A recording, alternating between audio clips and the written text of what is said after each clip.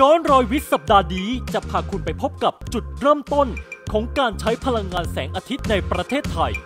ปัจจุบันหลายประเทศหันมาใช้พลังงานทดแทนอย่างพลังงานแสงอาทิตย์กันอย่างแพร่หลายครับ นอกจากพลังงานที่ว่านี้จะไม่มีวันหมดไป เหมือนพลังงานที่ใช้หมดไป เช่น พลังงานเชื้อเพลิงจากซากฟอสซิลแล้ว ยังเป็นพลังงานสะอาดที่ไม่ทำร้ายโลกของเราอีกด้วยครับ เตรียมกดไลค์กดกระดิ่งรอติดตามกันได้เลยทาง YouTube NSM Thailand และทุกช่องทางโซเชียลมีเดีย